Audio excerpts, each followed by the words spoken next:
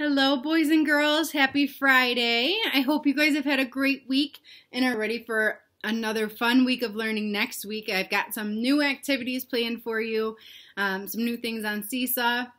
Rylee and I have some new videos planned for you, so I hope you're ready, and I hope you're ready to have a fun weekend too. I wanted to share with you um, another story, and I can't remember if I read this one or in class or not, but I like it. It's kind of funny, it's kind of silly. And Rylee don't be scared.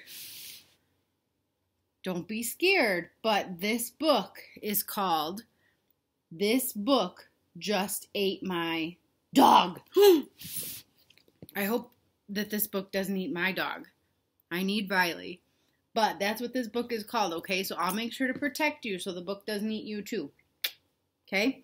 So this story is called This Book Just Ate My Dog and it was written by Richard Byrne. Okay, so Rylee, you make sure you pay attention so you don't get eaten too. All right. Bella was taking her dog for a stroll across the page when they're just going for a walk. Rylee, do you like to go for walks? Yeah, we'll go for a walk later, huh? something very odd happened. Can you see what happened? Look at that. The dog is only half there. He's missing. And then Bella's dog disappeared.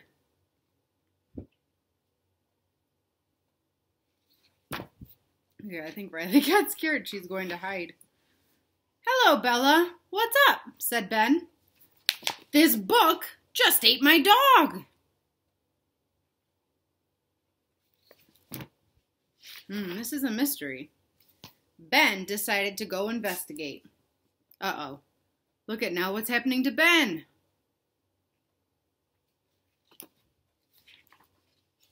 But then, Ben disappeared too. Uh-oh. This book is eating everybody.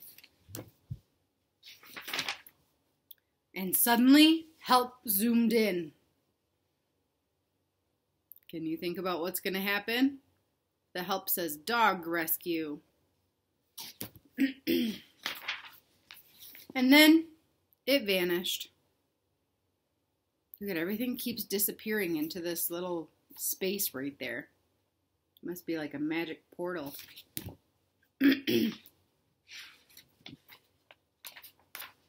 Things were starting to get ridiculous.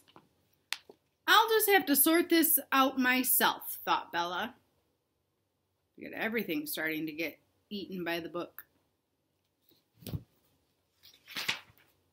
But, brrr, hmm.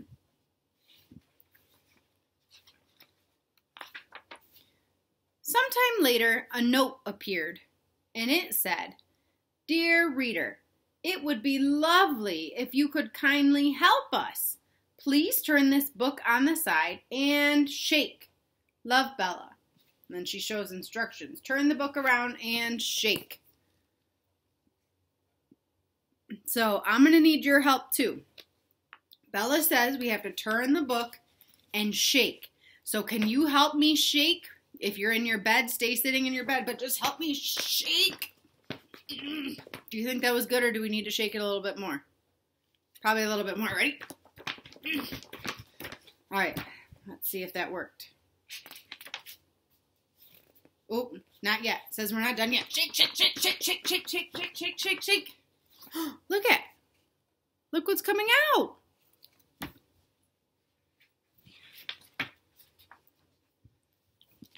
Ooh, Bella says, and one more little wiggle. And then everybody reappeared. Look at, they're coming right back out of the book.